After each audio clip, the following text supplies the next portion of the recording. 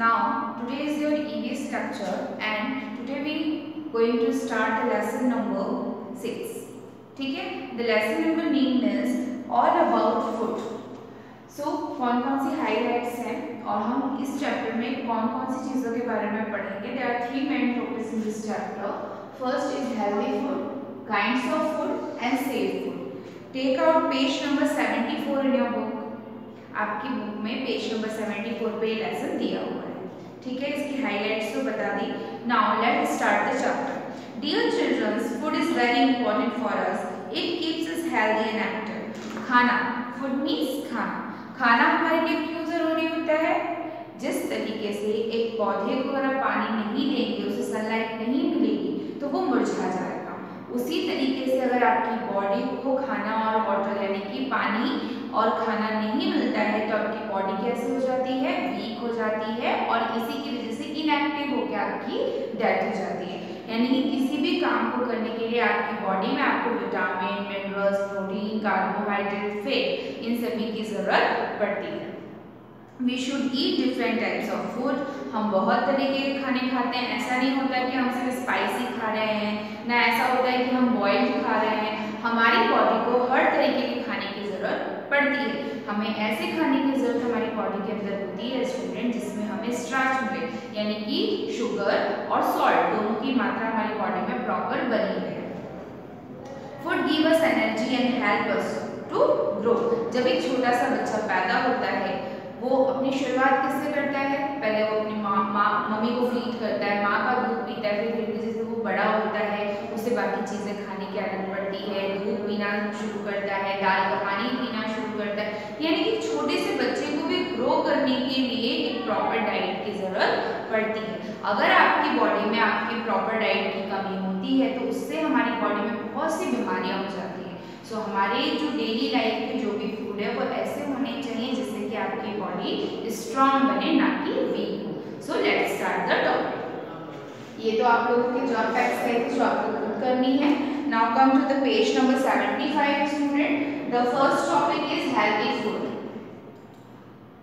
okay look it this topic we start from your healthy food in your book basic is food is a basic need to all living things खाना हम सभी जीवों के लिए, जो भी living things हैं, यानी कि एनिमल्स हो गए या फिर ह्यूमन बींग हो गए सभी के लिए खाना बहुत ज़रूरी होता है it is essential for our growth क्योंकि हम खाना खाने से हमारी ग्रोथ प्रॉपर होती है We eat food to live, grow, remain healthy and active.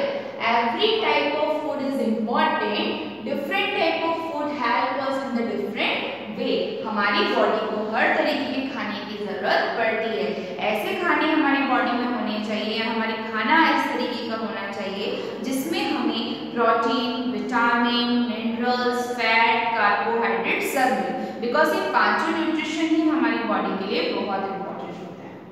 Food is mainly grouped into the following three categories यानी कि फ़ूड को यहाँ पर थ्री कैटेगरीज में अलग अलग डिवाइड कर दिया गया है। The first is energy giving food second is body building food and third is protective food पहला, जिससे कि हमें एनर्जी मिलती है दूसरा जिससे कि हमारी बॉडी बिल्डिंग होती है। बॉडी बिल्डिंग मीन्स एक बच्चा जब छोटा रहता है तो धीरे धीरे वो बड़ा होता है। उसे इस तरह का डाइट दिया जाता है कि उसकी ग्रोइंग अच्छी हो और उसके जो बोन्स हो, वो स्ट्रॉन्ग हो। क्योंकि आप पहले छोटे रहते हो, छोटा बच्चा पैदा होते ही चलने लगता है क्या? नहीं। उसकी बॉडी में जो न्यूट्रिशंस जाते हैं, उसकी वजह से वो टाइम के साथ साथ जल्दी कुछ बच्चे लेट चलते हैं, कुछ बच्चे जल्दी चलना सीख जाते हैं। ये सब उनकी डाइट और उनके न्यूट्रिशन पे डिपेंड करता है थर्ड इज़ प्रोटेक्टिव फ़ूड हमारे खाने में ऐसे कई फ़ूड होते हैं जो हमें बीमारियों से बचाते हैं, है ना? जैसे कि हम बोलते हैं कि एप्पल खाना चाहिए। एप्पल हमारे बॉडी के लिए बहुत इंपॉर्टेंट होता है। अगर आप मॉर्निंग में एक एप्पल खाने की हैबिट डालते हैं तो डॉक्टर्स कहते हैं कि आपको डॉक्टर से दूर रहना पड़ेगा बिकॉज़ उसमें इतना ज़्यादा प्रोटीन रहता है आयरन पाया जाता है। कई ऐसे फ्रूट्स होते हैं जो हमारी बॉडी में बहुत ही ज़्यादा प्रोटेक्टिव होते हैं। कई खाने ऐसे होते हैं जिससे हमारी बॉडी के प्रोटेक्शन होती है तो इन थ्री पार्ट्स में खानों को डिवाइड किया गया है Let us learn about these the details. The key of eating well it is, is to enjoy a variety of food from each of these food categories. First is energy giving. Come to the page number 76. First topic is energy giving food.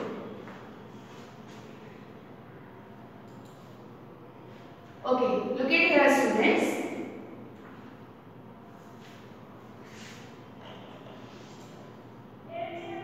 Hmm. Energy giving food. This give energy to our body to work and play. Energy giving food हमारी body में शक्ति ऊर्जा पैदा करती है। ऊर्जा पैदा करने से हम क्या होता है? आपकी बॉडी अगर एक्टिव रहेगी तो आप अपना काम टाइम से कर सकते हैं और एक्टिव वे में कर सकते हैं। एक व्यक्ति जब बीमार होता है तो कैसा हो जाता है? इनएक्टिव हो जाता है डल हो जाता है। उसकी जो बॉडी है, वो प्रॉपर वर्क करना बंद कर देती है। लेकिन जब वो दवाइयाँ देता है और प्रॉपर खाना फिर से खाने लगता है तो उसकी बॉडी फिर से दो से चार दिन में एक्टिव हो जाती है। तो आपकी बॉडी को एक्टिव करने के लिए हमें अच्छे खाने की ज़रूरत हमेशा पड़ती है some examples of energy giving food are rice wheat potato sugar and butter. हमारी बॉडी को कौन कौन से खाने से ज़्यादा एनर्जी मिलती है rice wheat, potato and sugar because इनके अंदर ग्लूकोज पाया जाता है। ग्लूकोज जिसमें की शुगर और सॉल्ट दोनों की मात्रा बराबर होती है। हमारी बॉडी में ग्लूकोज बहुत इंपॉर्टेंट है students okay now come to the next topic next topic is body building food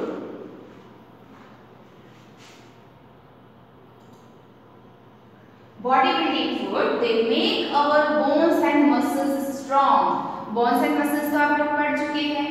है ना hard to touch is called bones and soft to touch is called muscles आपकी पूरी बॉडी आपकी muscles और आपकी bones पर ही depend करती है तो आपकी बोन्स को जो खाना स्ट्रॉन्ग बनाता है उसे हम कहते हैं body building food some examples of body building food are milk egg cereals, pulses, cheese, fish, egg and meat. They help us grow. खाने होते हैं जो नॉन वेजिटेरियंस भी हमारी बॉडी के लिए ज़्यादा इंपॉर्टेंट होते हैं नॉन वेज होने के बाद भी बिकॉज़ उनमें काफ़ी ज़्यादा प्रोटीन पाया जाता है। और जो लोग नॉन वेज नहीं खाते हैं, उनकी जगह सपोज़ मान लीजिए जो लोग एग नहीं खाते मीट नहीं खाते हैं तो ऐसा नहीं है कि हमारे वेजिटेरियन फ़ूड में वो प्रोटीन नहीं पाया जाता।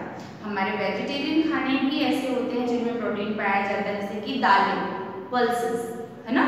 जो दालें होती हैं और आप लोग दलिया बोलते हैं जिसे। ये ऐसे खाने होते हैं जिनमें अच्छा खासा प्रोटीन पाया जाता है। खासकर हमारी बॉडी में प्रोटीन की कमी, जो कि नॉनवेज ना खाने की वजह से आ सकती है, वो दालें और सब्ज़ियाँ, हरी सब्ज़ियाँ खाने से पूरी हो जाती हैं। सो सभी के लिए अपने डिफरेंट टाइप ऑफ़ फ़ूड होते हैं। कोई नॉनवेज खाता है और कोई वेज खाता है। तो दोनों ही खानों में ऐसी चीज़ें प्रोवाइड होती हैं जिसमें कि प्रोटीन पाया जाता है। और प्रोटीन से ही हमारी बॉडी बिल्डिंग है milk egg pulses fish milk means आप जानते हैं दूध एग मीन्स अंडा फ़िश मीन्स मछली और pulses means different types of दालें।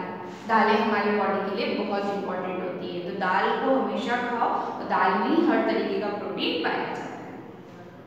Next topic is protective food protective food किस तरीके के होते हैं students this make this make us strong and protects us from diseases diseases means बीमारी। प्रोटेक्टिव फ़ूड हमें बीमारियों से बचाता है। Some example of protective food are fresh fruits and vegetables सबसे अच्छी प्रोडक्टिव फूड्स होते हैं फ्रूट्स और हरी सब्ज़ियाँ। जब आप बीमार पड़ते हैं तो डॉक्टर आपको हरी सब्ज़ियाँ खाने के लिए बोलते हैं या बाहर का जंक फ़ूड खाने के लिए बोलते हैं? हरी सब्ज़ियाँ खाने के हैं। क्यों? क्योंकि ये हमारी बॉडी के लिए बहुत ज़्यादा प्रोटेक्टिव होती है। बिकॉज़ ये आर्टिफिशियल नहीं होती है, ये होम होममेड भी नहीं होती, ये होती है नेचुरल और जो चीज़ें नेचुरल होती हैं, उनमें सभी चीज़ें प्रॉपर लेकिन प्राकृतिक का रंग होता है। और प्राकृतिक जो चीज़ें होती हैं, जो नेचुरल थिंग्स होती हैं हमारे खाने की, वो हमारी बॉडी को बाकी हार्मफुल थिंग्स से बचाती हैं। Just like fruits and vegetable we should eat eat each type of food during the day यानी कि protective food energy giving food and body building ये तीनों चीज़ें तीनों टाइप के जो खाने होते हैं, ये मिलके हमारे एक दिन का डाइट बनता है। अगर आप सोचोगे आप पूरे दिन फ्रूट्स पर डिपेंड हो तो भी आपकी बॉडी वीक होगी। अगर आप पूरे दिन सोचोगे उसमें दाल दाल खा लेता हूँ प्रोटीन मिल जाएगा, लेकिन आपकी बॉडी फिर भी वीक है, आपकी बॉडी को मिनरल विटामिन प्रोटीन कार्बोहाइड्रेट और फैट इन पाँचों न्यूट्रिशन की ज़रूरत पड़ती है। So students now come to the next topic in page number 79 kinds of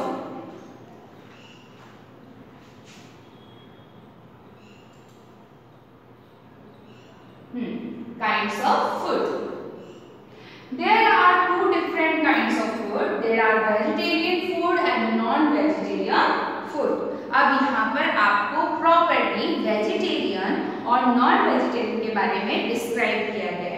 because हमारी फ़ूड की कैटेगरी में दो तरीके के खाने होते हैं। कुछ शाकाहारी, जिसे हम वेजिटेरियन कहते हैं, और कुछ खाने मांसाहारी, जिसे कि हम नॉन वेजिटेरियन कहते हैं। So first is vegetarian I am Manya I am a vegetarian यहाँ पर एक कैरेक्टर दिखाया है शी इज़ मान्या और मान्या कौन है? वेजिटेरियन लड़की I eat fruits vegetables cereals pulses milk cheese and butter in my daily diet vegetarian होने के बाद भी वो ऐसे खाने खाती है जिसमें कि हमारे पाँचों न्यूट्रिशन होते हैं।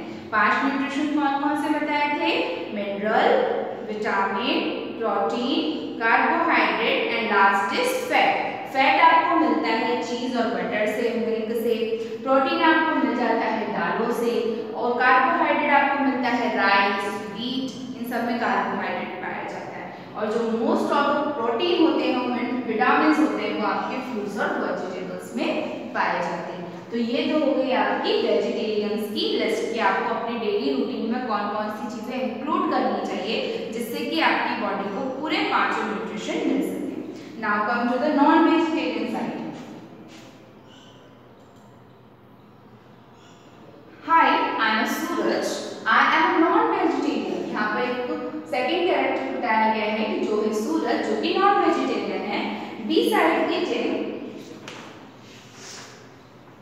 Besides eating fruits, vegetables, pulses, milk and milk products, I also eat egg, mutton, chicken and fish in my diet. जो सूरज है वो वेजिटेरियन फूड्स भी लेता है बट वो नॉन वेजिटेरियन है इसलिए उसकी जो डेली डाइट है उसमें कुछ चीज़ें और इंक्लूड होती हैं जैसे कि egg mutton, chicken or fish. People eat in a different form. Fruits are eaten now. Some examples of fruits are grapes, watermelons and dogs.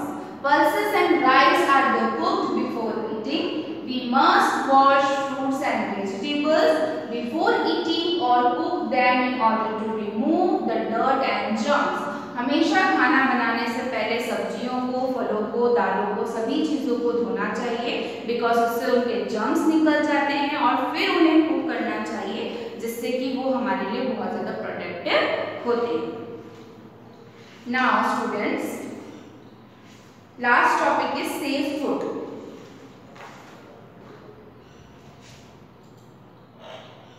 safe food. Do you know there are many people all over the world who do not get food to eat. Therefore, we should never waste food. अब देखिए, यहाँ पर आपको picture दी गई है। एक ये बच्चे जिनके पास खाना है, लेकिन इस टाइम में वो कितना वेस्ट कर रहे हैं। और एक ये बच्चा जिसके पास बेचारे के पास रत्ती भर भी खाना नहीं है। आप लोग भी न्यूज़ देखते हैं स्टूडेंट आप लोग इस टाइम देख रहे होंगे कि जब कोविड नाइन्टीन स्टार्ट हुआ था, तब कई लोग थे जिनकी जॉब चली गई थी, कई लोग थे जो एक जगह से दूसरी जगह पैदल अपने घर तक गए थे। आप लोग इमेजिन कर सकते हो उन्हें रास्ते में कितनी दिक्कत हुई होगी। बिना खाने, बिना पानी के, वो मीलों पार करने के बाद अपने घर पहुँचे।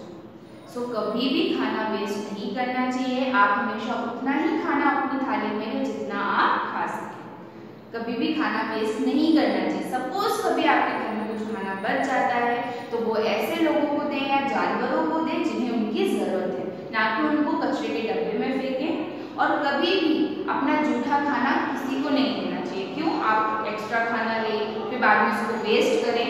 This is the not a right thing है ना? हमेशा हमें खाने की बचत करनी चाहिए।